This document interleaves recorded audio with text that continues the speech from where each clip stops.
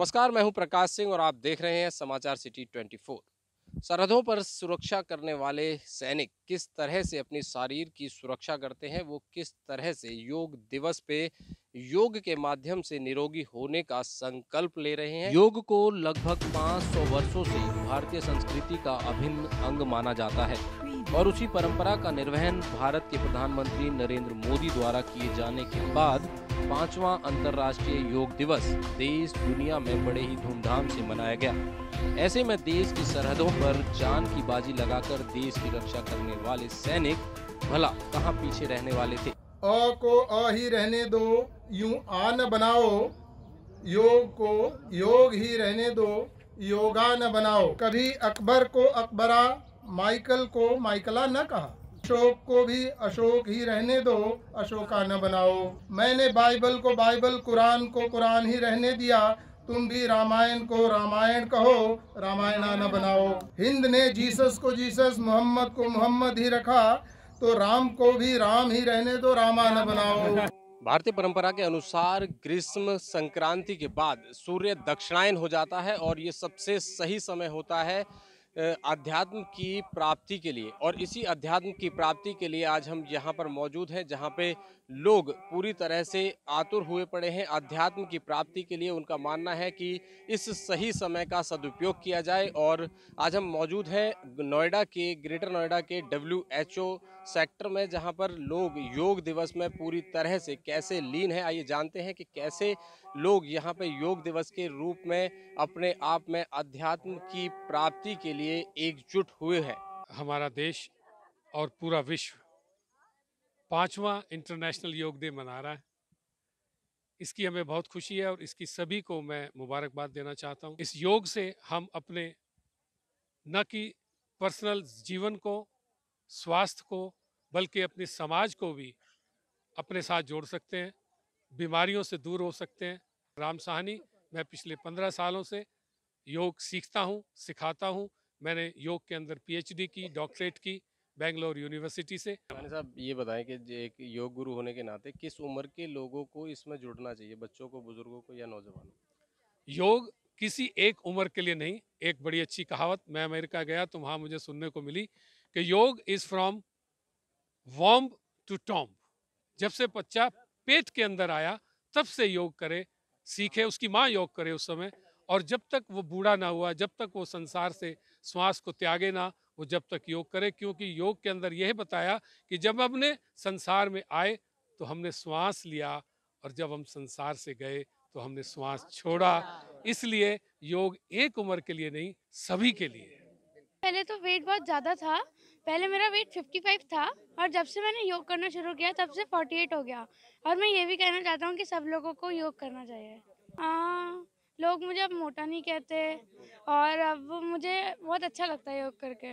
मैं पाँच साल से योगा कर रहा था जब से डॉक्टर राम साहनी आए हैं। साथ कुछ महिलाएँ भी जुड़ी हुई हैं उनसे पूछना चाहेंगे कि घर में रह करके कैसे योग को प्रमोट करेंगी वो। आ, क्या नाम है?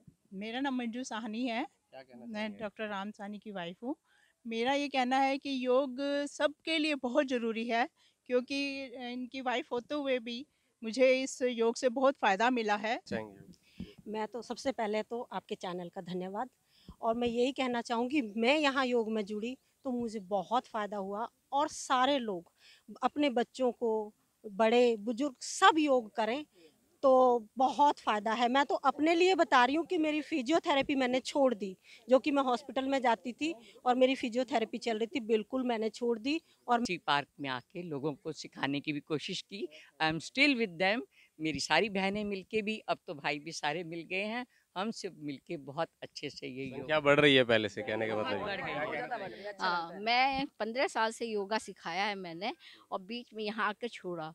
लेकिन उसका मुझको परिणाम ये मिला कि मैं खुद ही कैंसर की पेशेंट बन गई छोड़ने से। और उसके बाद फिर मैंने कहा नहीं योग तो ज़रूर करना चाहिए और आज मैं एकदम स्वस्थ हूँ और बहुत ज़्यादा उससे भी ज़्यादा मतलब एनर्जेटिक हूँ मैं। इसलिए सबको हर रोग का एक ही इलाज योग। इसलिए सबको योग से जुड़ो और अपने मन में इससे मन में शांति भी होती है और पूरे शरीर इमोशनल सब पूरा गुस्सा नहीं आता है। इसलिए ये योग बहुत ज़रूरी है। तो आपने सुना कि यहाँ सभी का कहना है कि योग से जुड़ना बहुत ज़रूरी है। योग करेंगे तो निरोग रहेंगे। क्या क्या क्या शुभ नाम है आपका? मैं तो मैं मेरा नाम तो ब्रिगेडियर आर पी अग्रवाल मैं वाइस प्रेसिडेंट हूँ यहाँ पर।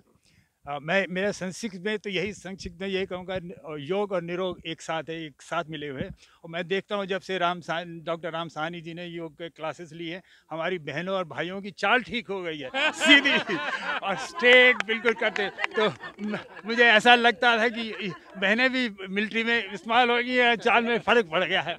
बहुत बहुत बहुत बहुत धन्यवाद डॉक्टर सहानी का और अपने चैनल का जो इन्होंने प्रसिद्ध मौका दिया बोलने का तो सबसे बड़ी बात यहाँ पर आपने देखा कि सभी बहनें और भाई इन्होंने कहा कि ना सिर्फ़ उनका हाल बल्कि चाल भी ठीक हो गए यहाँ पर कर्नल साहब मौजूद हैं। कर्नल साहब मैं जानना चाहूँगा कि लोग सरहदों पे आप लोग सुरक्षा करते हैं तो यहाँ घर में और हमारे जीवन में कैसे सुरक्षित रहें? जीवन में जब तक हम खुद स्वस्थ नहीं होंगे, तब तक न तो अपने बच्चों को स्वस्थ कर सकते हैं, ना समाज को, न राष्ट्र को स्वस्थ कर सकते हैं।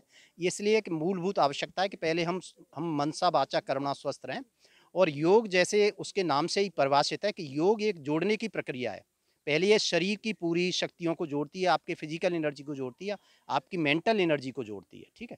तो योग ये जोड़ने की प्रकृति है और यहाँ भी साक्षात आप देख रहे हैं कि फिर उसके बाद में ये व्यक्ति से व्यक्ति को जोड़ती है, समाज के समाज से जोड़ती है और देश को देश से जोड़ती है। ये प्रधानमंत्री जी ने करके दिखाया कि पूरा विश्व जैसे भारतीय संस्कृति थी, वसुदेव कुटुंबकम हम पूरे विश्व को एक कुटुंब मानते थे। हम हम व्यक्तिगत एक इकाई नहीं है पूरा देश, पूरा समाज, पूरा विश्व हमारा एक परिवार है। Yoga is the best, that is the only thing and I am thankful to Ram ji. मेरा घुटने बिल्कुल बैंड नहीं हो पा रहे थे, अभी मैं हल्की सी आलती पालती मार के बैठना शुरू हो गई हूँ। एक हफ़्ता हुआ है मुझे ये ज्वाइन करे हुए। तो I am really thankful to Ram ji and you people also thank you so much. तो आपने इस तरह से सुना कि किस तरह से डब्ल्यू एच ओ परिवार पूरी तरह से मना रहा है योगा दिवस को। यहाँ लोगों ने साफ़ तौर पे कह दिया कि योगा के माध्यम से आप अपने शरीर को निरोगी बना सकते हैं और इस निरोगी काया के ज़रिए ही आप अपने जीवन को सार्थक सिद्ध कर सकते हैं। समाचार सिटी 24 की हर ताज़ा तरीन खबर के लिए आप हमारे साथ यूँ ही जुड़े रहिए।